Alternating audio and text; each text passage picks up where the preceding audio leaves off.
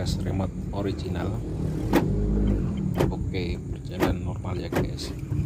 Sekarang kita coba tes remote yang akan diprogram. Belum terdaftar atau belum sinkron istilahnya jadi belum connect. Sekarang langkahnya kita gunakan kunci asli atau originalnya. Colok putar ke on. Lalu kita hidupkan programmer. Maka selanjutnya pemrograman. Simak videonya sampai habis ya guys. Jangan di skip biar paham. Oke. okay.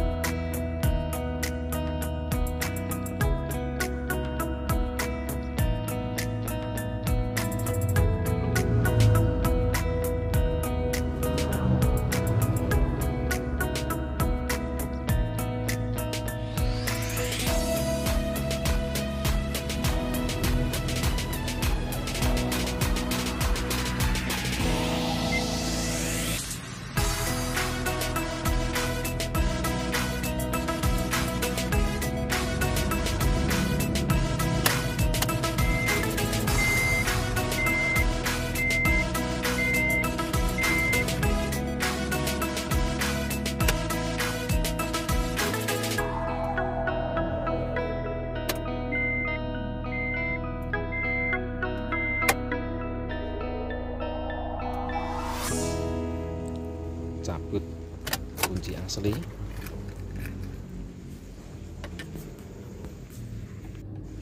Lalu kita colokkan kunci baru yang akan kita daftarkan.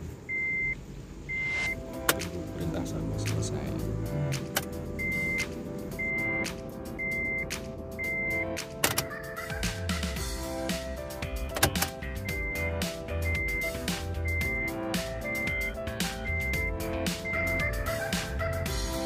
apakah lampu indikator immobilizer padam atau mati? Kita cek.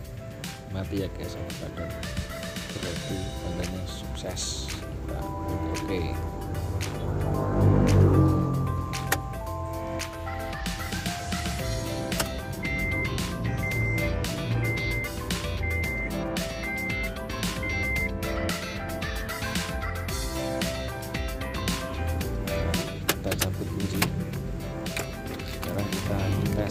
Remote yang original dan remote baru yang didaftarkan. Ori. Oke. Remote yang baru. Oh ternyata ori juga. Gampang ya guys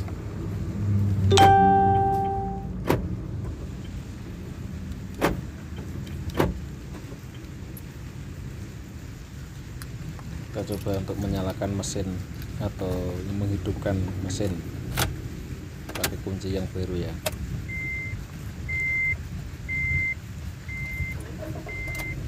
Oke sukses. Mantap mantap. Jangan lupa subscribe ya bosku